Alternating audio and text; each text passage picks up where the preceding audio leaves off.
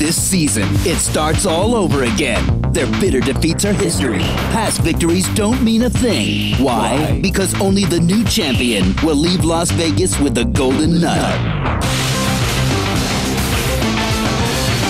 BattleBots. It's an all-new tournament as over 100 bots face off in Sin City, Las Vegas. BattleBots Season 2.0 continues tomorrow at 10, only on Comedy Central, the leader in robotic sports.